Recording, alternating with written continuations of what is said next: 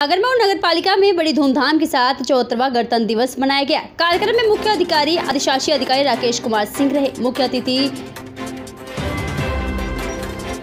के कर कमलों द्वारा ध्वजारोहण के साथ ही राष्ट्रगान भी किया गया। खुशियों के प्रतीक रंग बिरंगे गुब्बारे भी आकाश में उड़ाए गए। कार्यक्रम के दौरान ही बेटी बचाओ, बेटी पढ़ाओ के नारी सुरक्षा सफ़ाई अभियान को लेकर कार्यक्रम की प्रस्तुति दी गई। अधिशासी अधिकारी राकेश कुमार सिंह ने बागरमऊ की जनता से अपील की, कृपया आने वाले एक फरवरी से आने वाले सभी सफ़ाई कर्मचारी को शासन के दिशा निर्देश के अंतर्गत गीला और सूखा कूड़ा अलग अलग दे उन्होंने बेहतर कार्य करने के लिए 10 सफ़ाई कर्मचारी को प्रशंसा पत्र एवं माला पहनाकर उनका स्वागत भी किया है।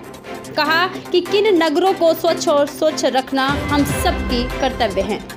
वहीं स्कूली बच्चे द्वारा नगर के प्रमुख मार्गों पर रैली भी निकाली गई। प्राइम न्यूज़ शनि के लिए बागरमऊ उन्नाव से मोहम्मद इरफान खान।